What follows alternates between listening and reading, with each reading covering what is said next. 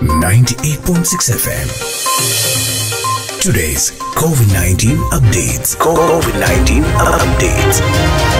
ഖത്തറിൽ ഇന്ന് ഇരുന്നൂറ്റി ഇരുപത്തിയാറ് പേർക്ക് കോവിഡ് രോഗം ഭേദമായതോടെ ആകെ രോഗവിമുക്തി നേടിയവർ ഒരു ലക്ഷത്തി മുപ്പത്തി മൂവായിരത്തി പത്തായി പുതുതായി ഇരുന്നൂറ്റി നാൽപ്പത്തിമൂന്ന് പേർക്ക് കൂടി രോഗം സ്ഥിരീകരിച്ചു ഇതോടെ ആകെ രോഗം സ്ഥിരീകരിക്കപ്പെട്ടവരുടെ എണ്ണം ഒരു ലക്ഷത്തി മുപ്പത്തി ആറായിരത്തി ഇരുപത്തിയെട്ടായി പതിനായിരത്തി എഴുപത്തിരണ്ട് പേരിലാണ് കഴിഞ്ഞ ഇരുപത്തിനാല് മണിക്കൂറിനകം രോഗപരിശോധന നടത്തിയത്.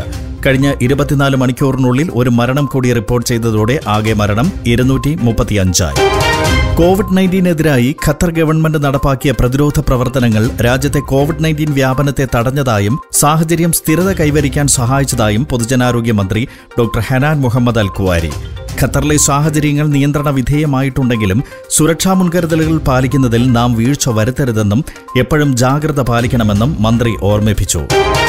പരിസ്ഥിതി സൗഹൃദ ഗതാഗത സംവിധാനമെന്ന ലക്ഷ്യം സാക്ഷാത്കരിക്കുന്നതിനായി ഗതാഗത വാർത്താവിനിമയ മന്ത്രാലയം ഇലക്ട്രിക് ബസ്സുകൾക്കായി ടെൻഡർ വിളിച്ചു. ഇലക്ട്രിക് ബസ് റാപ്പിഡ് ട്രാൻസിറ്റ് വാഹനങ്ങൾ വിതരണം ചെയ്യുന്നതിനും അറ്റകുറ്റപ്പണി നടത്തുന്നതിനുമുള്ള ടെൻഡറാണ് മന്ത്രാലയം ക്ഷണിച്ചിരിക്കുന്നത്. പരിസ്ഥിതി സൗഹൃദ ഗതാഗത സംവിധാനത്തിലേക്കുള്ള സുപ്രധാന ചുവടുവയ്പാണിതെന്ന് മന്ത്രാലയം വ്യക്തമാക്കി.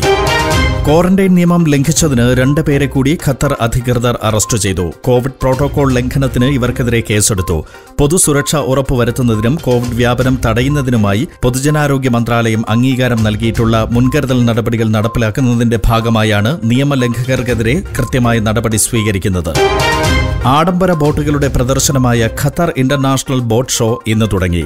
പേൾ ഖത്തറിലെ പോർട്ടോ അറേബ്യയിൽ നടക്കുന്ന ഷോയിൽ അത്യാധുനിക ആഡംബര ഉല്ലാസ ബോട്ടുകൾ നൌകകൾ എന്നിവ കൂടാതെ സമുദ്ര സാങ്കേതിക വിദ്യകൾ സമുദ്ര ഉൽപ്പന്നങ്ങൾ ഉപകരണങ്ങൾ എന്നിവയെല്ലാം ഉണ്ടാകും. കോവിഡ് നയന്റീൻ പ്രതിസന്ധിക്ക് ശേഷമുള്ള സമുദ്ര സംബന്ധമായ ആദ്യ ഷോയാണിത്.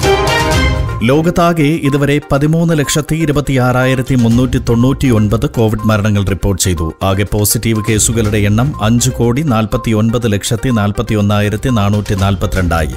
ഇതിൽ മൂന്ന് കോടി എൺപത്തിരണ്ട് ലക്ഷത്തി ഇരുപതിനായിരത്തി ഇരുന്നൂറ്റി അൻപത്തിമൂന്ന് ആളുകൾക്ക് രോഗം ഭേദപ്പെട്ടു.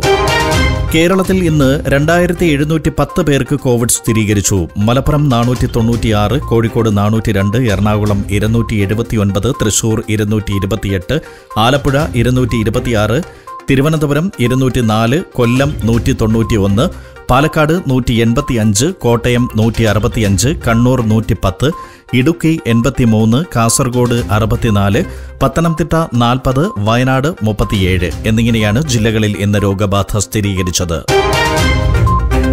98.6 FM.